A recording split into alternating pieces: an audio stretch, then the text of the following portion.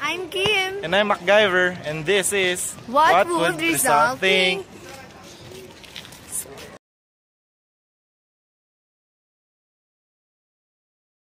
So una, ano, kung ilalagay ko yung sarili ko sa Katayuan Rizal, siguro, una ko ma, ang ma- magiging reaction ko eh, mag, magtataka, "Ah, bakit? Ano meron sa pagiging isang LGBT? But at the same time, siyempre tingnan ko din yung mga maganda na idudulot nun. Siyempre, bilang sa mga kabataan na ngayon, lalo na ngayon, di ba, open sila. O- open na sila sa lahat, hindi sila natakot na magladlad. Mas napapakita nila kung ano yung tunay na nararamdaman nila. Tapos, Rizal. At yun nga, di ba, sinabi ni Rizal, yung mga kabataan yung pag-asa ng bayan.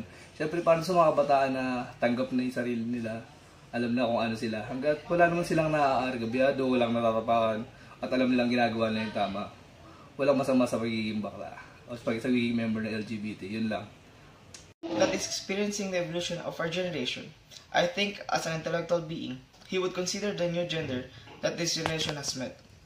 I have read some articles, listened to some of my lectures about how genes can affect some person. Rizal was a doctor, he was a very intelligent person and would likely to consider the LGBT group. Rizal is a person that would consider possibilities. On other words, Rizal would not be blinded by some gender, he would still see a future for that person.